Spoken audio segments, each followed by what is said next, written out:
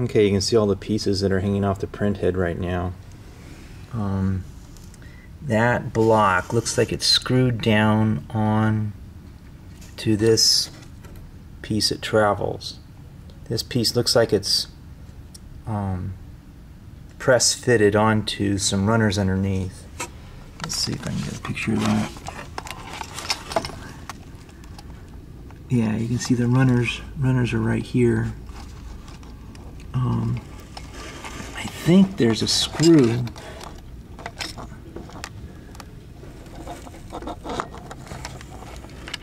I don't know if I can see it in here or not. I think there's a screw underneath this block. So it'd be on the sides of this hot print head. It'd be directly down here, centered underneath my thumb.